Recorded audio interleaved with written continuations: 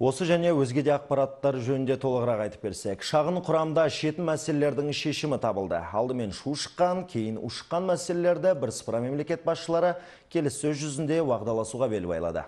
Бүгін ұжымдық қауіпсіздік жөніндегі шарт ұйымына мүше мемлекет жетекшілері Кремль табалдырығын аттады. Мәскеудегі жиында тәжік ауған шекарасының беріктігінің мығымдау жайы баса айтылды. Бір сағат бұрын тәмамдалған алты ел басшыларының кездесуі туралы Кремльден Фариза Шәмші баяндасын.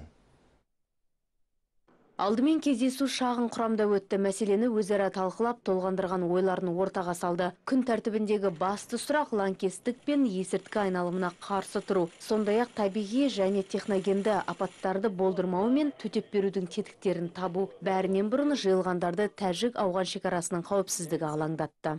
В частности, необходимо қауіпсіздік жөніндегі шарт ұйымына мүше елдер тәжік ауған шекарасына аса назар аудару керек. Ауғанстанның жаңа үкіметімен наша айналымына төтеп беруде тығыз байланыс орнатуымыз керек. Тәжікстанға қаржылай көмек бергеніміз жөн.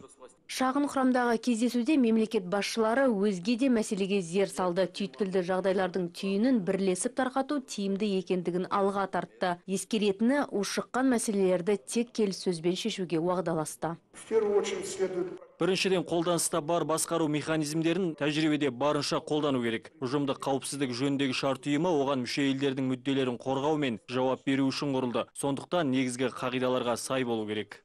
Нұрсұлтан Назарбаев бүгінгі кездесуде ұйымның тиімділігін арттыру ынтымақтастықтың нығаюына мүмкіндік береді дейді.